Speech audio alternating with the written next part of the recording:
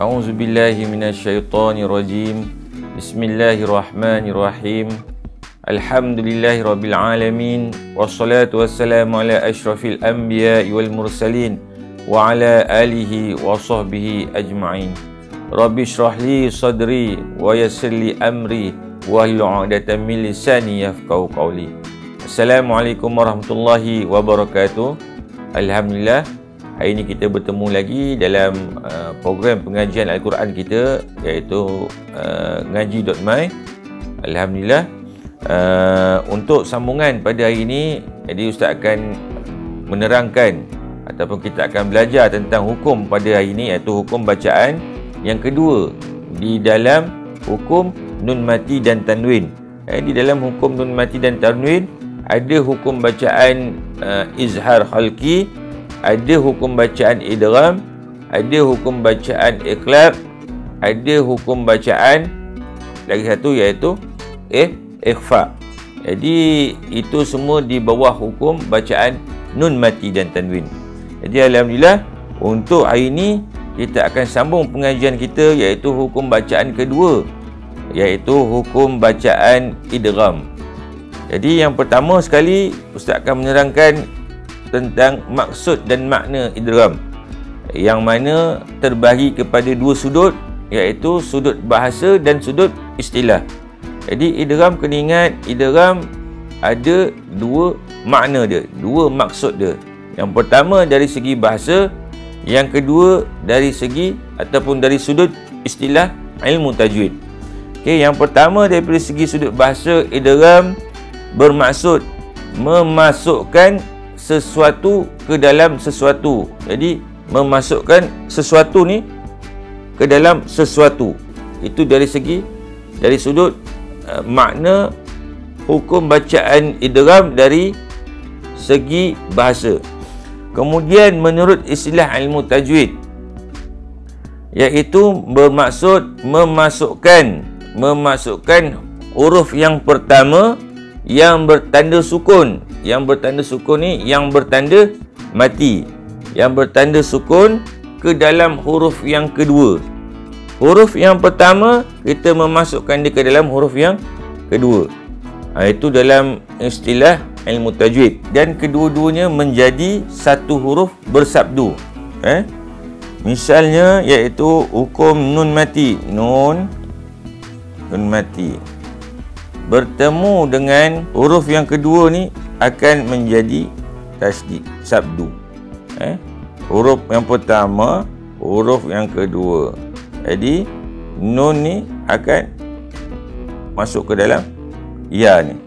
Nun ataupun tanwin. Jadi uh, ini adalah makna bagi hukum bacaan idgham. Kita teruskan pula dengan idgham bila guna jadi sebelum tu kita kena tahu apakah yang dinamakan dan dimaksudkan dengan idgham bila gunnah. Okey, idgham bila gunnah bermaksud memasukkan tanpa dengung. Memasukkan tanpa dengung. Idgham ma'al gunnah memasukkan dengan dengung. Idgham bila gunnah memasukkan tanpa dengung. Jadi kita kena faham. Dan juga idgham bila gunnah dikenali sebagai idgham kamil. Lawannya bagi idgham nakis adalah idgham kamil. Eh? Okey. Idgham kamil juga bermaksud memasukkan secara sempurna. Kalau idgham ma'alunah, idgham ka idgham nakis memasukkan dengan tidak sempurna.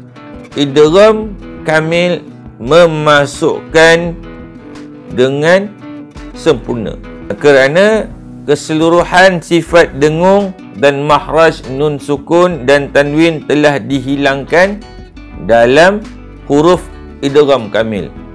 Jadi apa maksud tu?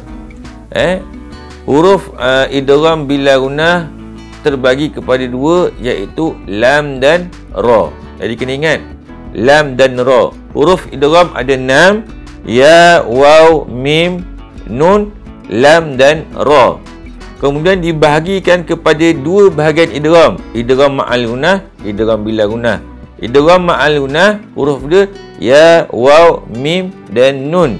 Kemudian idgham ma idgham bila gunnah lam dan ra huruf dia. Jadi empat campur dengan dua adalah enam huruf idgham dibahagikan kepada dua bahagian empat huruf huruf empat huruf hukum idgham ma'al gunnah dua huruf idgham bila bila gunnah hukum bagi idgham bila gunnah huruf dia ada dua yang pertama lam yang kedua ra. Eh? kemudian kat sini saya akan menerangkan berkenaan dengan uh, hukum bacaan dia di dalam Al-Quran. Eh? seperti contoh nun mati bertemu dengan lam.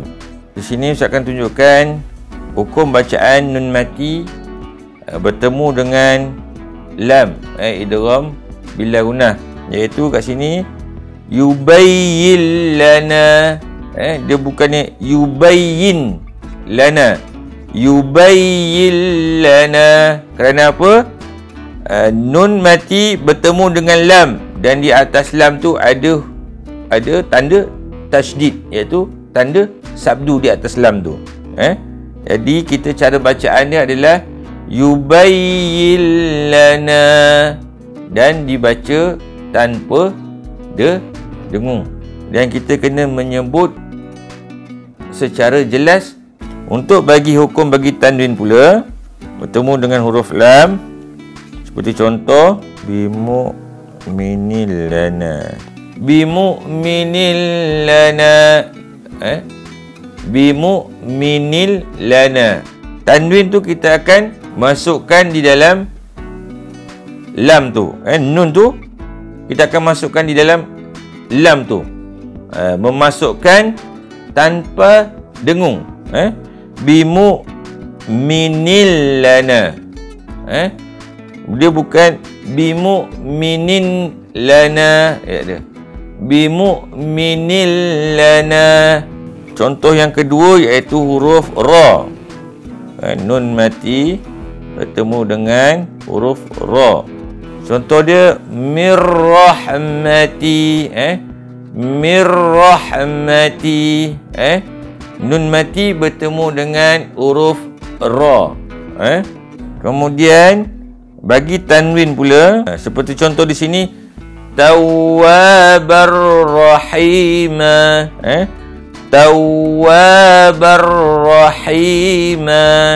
Jadi kat sini tanwin bertemu dengan ra eh tanwin bertemu dengan ra jadi bacaan dia tawwabar rahima jadi bacaan dia tanpa dengung dan kita memasukkan bacaan yang bertanwin ni ke dalam huruf ra. Bila mana huruf ra ni telah ditandakan sabdu di atas iaitu tasydid. Jadi insya-Allah ini adalah hukum-hukum bagi bacaan uh, idgham bila bila gunnah. Dan kita kena ingat uh, kalimah yang terakhir pada kalimah pertama akan bertemu dengan huruf idgham pada awal kalimah. Huruf idgham berada di awal kalimah yang kedua. Tanwin uh, nun mati dan tanwin berada di akhir kalimah yang pertama dan huruf idgham berada di kalimah kedua, awal kalimah yang kedua. Eh, seperti contoh-contoh yang telah ustaz uh, berikan kat sini, kita boleh lihat dua kalimah berlaku iaitu kalimah pertama di akhir kalimah yang kalimah kedua di awal kalimah. Jadi alhamdulillah sekian pada kali ini. Uh, InsyaAllah kita akan sambung uh, pada episod-episod yang seterusnya uh, berkenaan dengan pemahaman kita, uh, pembelajaran kita dengan ilmu tajwid dalam kita mempelajari Al-Quran. Jadi insyaAllah uh, kita semoga kita berjumpa lagi di episod yang akan datang. Wabillahi taufiq wal hidayah. Wassalamualaikum warahmatullahi wabarakatuh.